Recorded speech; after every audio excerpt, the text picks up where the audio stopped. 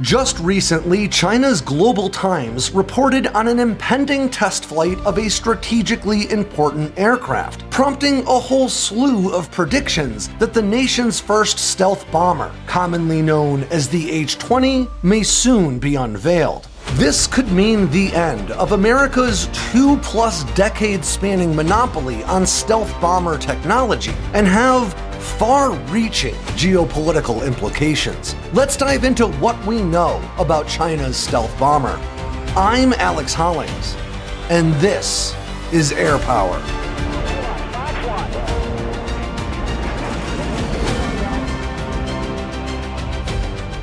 The only operational stealth bomber in the world today is America's Northrop Grumman B 2 Spirit, which first flew in 1989 and entered operational service in 1997. Unlike any other operational stealth platform in the world today, the B 2's flying wing design is effective at limiting detection from both high and low frequency radar bands. As a result, the somewhat dated and significantly larger B 2 Spirit is often more difficult to detect and track than even America's most modern stealth fighter, the F 35. As we've covered just recently, fifth generation fighters like the F 35, the F 22, China's J 20, or Russia's Su 57 are all limited by the physical requirements for aerobatic fighter performance, forcing the inclusion of design elements like vertical tail surfaces that can render them detectable against low frequency radar arrays that aren't capable of providing a target grade lock. As I mentioned in our video all about this topic, when an F 35 is in the neighborhood, you know it, even if you can't target it. But aircraft like the B 2 Spirit are so stealthy that it could fly over your nation and you may not ever even realize it was there. Today, America's 25 year monopoly on heavy payload, deep penetration stealth bomber technology may be coming to a close. But with America's own next generation stealth bomber, the Northrop Grumman B 21 Raider, now in the later stages of development, the real question is will China's H 20 be its next generation peer, or just another page ripped, or maybe ripped off, from America's own low observable history books?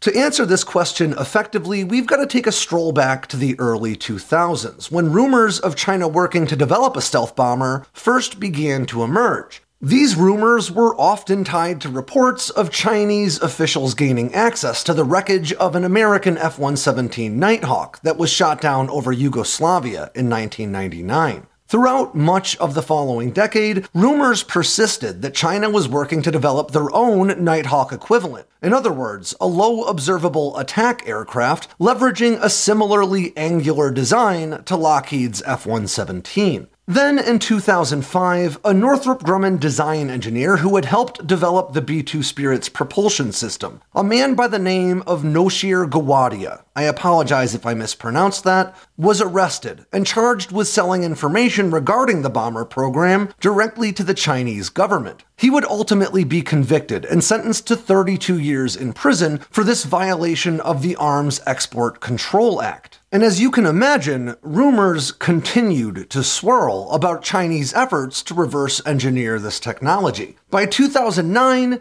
details began to emerge of a Chinese stealth fighter program under development. This program would, of course, ultimately result in fielding the Chengdu J 20 Mighty Dragon, which would enter service in 2017. But back in 2009, when details were still sparse, it really just sort of shifted American concerns away from the idea that China would be trying to field their own F 117. And instead, it seemed more evident that China was leapfrogging that technology in favor of fielding comparable stealth fighters and potentially a stealth bomber of their own. Those rumors would feel a bit more credible in 2013 when German author and Chinese aviation expert Andreas Rupprecht published renders and pictures of models that appeared to show the basic design of a forthcoming Chinese stealth bomber. The twin engine aircraft appeared to blur the lines a bit between stealth fighter and stealth bomber, sharing some design cues with both Northrop's B 2 Spirit and its defunct competitor for the F 22, known as the YF 23. As some outlets also noted at the time, the wing shape of China's theoretical stealth bomber appeared similar to artist renderings of Russia's own advanced low observable bomber program known as the PAK DA, which had been under development since 2009. But it seems clear that this design was not for a heavy payload platform like the B 2 Spirit, but rather part of China's other developmental stealth effort to field a medium range fighter bomber. Nonetheless, it clearly demonstrated that China was incorporating stealth design elements into its next generation of bombers.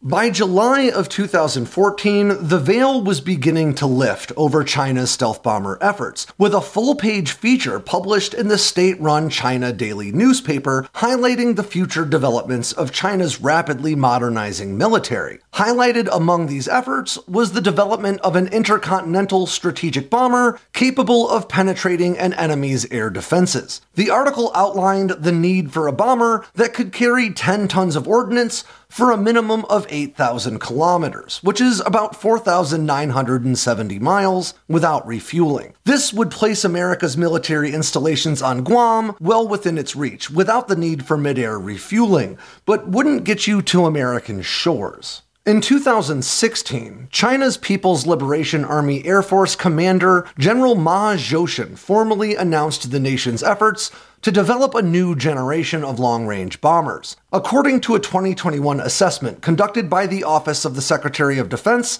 this announcement was likely in reference to the development of China's stealth bomber, which is often referred to as the H 20. That same assessment also indicates that China had had success in trying to reach the goals outlined in that 2014 China Daily column, stating that this new bomber would likely employ fifth generation or stealth technologies, boast a range of at least 8,500 kilometers, about 5,280 miles, a payload capacity of at least 10 metric tons, and nuclear weapon delivery capabilities. That same 192 page report, all of it riveting reading, also refers to this program as a flying wing stealth bomber, which is an important distinction to make. Then in 2018, China would not only seemingly confirm that its forthcoming H 20 stealth bomber would leverage a flying wing design, they did it with a serious wink and nod to the very aviation firm many people think they stole their design from. In a video released by the Aviation Industry Corporation of China, or AVIC, an aircraft that looks like a flying wing sat under a drop cloth in a strikingly similar presentation to Northrop Grumman's own Super Bowl commercial featuring a drop cloth covered B 21 Raider. The Chinese video, of course, did not overtly discuss this stealth bomber, but it seemed like a very intentional effort to frame the H 20 as China's response to America's forthcoming stealth bomber. So now that we know the timeline, what do we really know for sure about China's H 20? The truth is, not a lot, but there are a number of assertions we can make with some level of confidence. First and foremost, it will almost certainly be a flying wing design similar to that of America's B 2 Spirit. This offers a number of significant stealth advantages, as we've already discussed. This approach to stealth design limits the aircraft's return not only against targeting radars that leverage X or other high frequency bands, but also against early warning low frequency radar bands as well. And that's very important for the types of operations these deep penetration heavy payload bombers are tasked with. They need to fly deep into enemy airspace, deep into heavily defended airspace, to deliver their munitions, often without an escort. And the only real way to accomplish that in the modern era is to be virtually undetectable. The H 20 is expected to be nuclear capable, firmly establishing China's own nuclear triad of land based missiles, submarine launched missiles, and long range nuclear strategic bombers. If the concept of a nuclear triad is new to you, it's commonly seen as a means of ensuring mutually assured destruction, as it limits an opponent's ability to wipe out your entire nuclear arsenal in any single attack.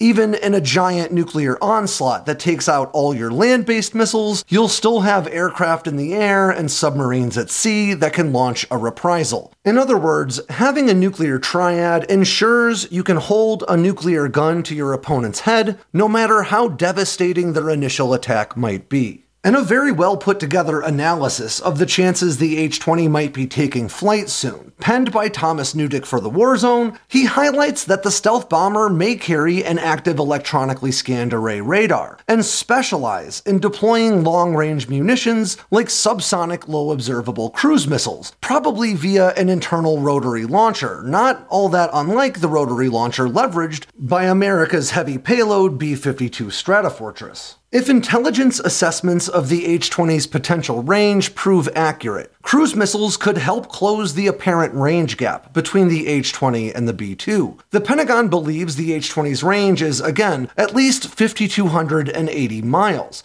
as compared to the B 2's nearly 7,000. The mainland United States is more than 7,200 miles from Chinese shores, and the presence of refueling tankers over the Pacific in some areas could potentially tip off American defenses about an impending strike. But long range, low observable nuclear cruise missiles could play a role in China's plans for a reliable means of nuclear weapon delivery from the air. A cruise missile with a 1,200 mile range, for instance, could shave 2,400 miles off of a bomber's round trip which coupled with a sound strategy could allow that bomber to refuel in less conspicuous places. But the real million dollar question is just how stealthy could this H 20 be? Is it comparable to the B 2 Spirit, which is stealth technology America has had since the 1980s? Or is it more comparable to the forthcoming B 21, chock full of technology America is still working to field? I can't answer that question conclusively, but I can give you a pretty good educated guess. China has made rapid progress modernizing its military apparatus, including fielding one stealth fighter and moving toward placing a second into service. But to date, China just doesn't appear to have demonstrated the same capacity that the United States has for fielding extremely low observable platforms. The J 20, China's current stealth fighter, is believed to boast a very small radar cross section from directly head on but the aircraft itself is largely considered to be far more observable than either of America's stealth fighters. Radar cross sections, or the size of an aircraft's radar return, are not only rarely publicly disclosed, they're also incredibly difficult to calculate and vary depending on the angle of observation, or where the radar array is as compared to the aircraft. So, whenever anyone talks about radar cross sections online, you should always take that discussion with a grain of salt, and that includes when I do it. But expert assessments of the J20's RCS range from around a half a square meter all the way up to three square meters. Compare that to the F 22's reported radar cross section of 0.0001 square meters, or the F 35's slightly larger 0.0015 square meters. While almost certainly harder to detect than Russia's Su 57 Felon, the J 20's stealth profile just doesn't seem to be on par with the least detectable fighters of its generation. And to be frank, there's little evidence to suggest that China will even be able to match, let alone leapfrog, the B 2's low observable capabilities. The B2 Spirit's commonly accepted radar cross section is usually around 0.1 square meters, which you may note is significantly smaller than even the lower estimates for the J20, despite the B2 having a 172 foot wingspan. Of course, a great deal of the difference could be attributed to the B2's flying wing design, but there's still very little evidence to suggest that China's first effort at this sort of low observable flying wing design will manifest in performance that's equal to America's B2 Spirit. After all, China had direct access to blueprints for both the F 22 and the F 35 during development of the J 20, and it isn't as stealthy as either of them. But even if China's H 20 does manage to prove as low observable as the B 2 Spirit, the nation will still be at a number of significant disadvantages. The most prominent, of course, being that America is fielding its own next generation bomber, said to be significantly stealthier than the B 2 and the B 21 Raider in just a few years. But beyond that, it's also important to understand that mission planning is one of, if not the most important component of any stealth operation, and the United States benefits from literally decades worth of experience operating these types of platforms. Just to send that point home and prove I'm not making it up, I'm going to close with a quote from B 2 pilot Lieutenant Colonel Christopher Conant, who said, and I quote, in the B2 community, we say mission planning is our primary tactic, and our quality of mission planning is what sets us apart. So, while America's stealth bomber monopoly may soon be ending, its stealth reign does not appear to be over just yet. And with that ends yet another edition of Air Power from Sandboxx News. I'm Alex Hollings. Make sure you swing by sandboxnews.com today and every day for all the latest in news, entertainment, and motivation from all around the Force. If you got anything out of today's video, make sure to click like and subscribe down below and leave me a comment so I know what I should cover next.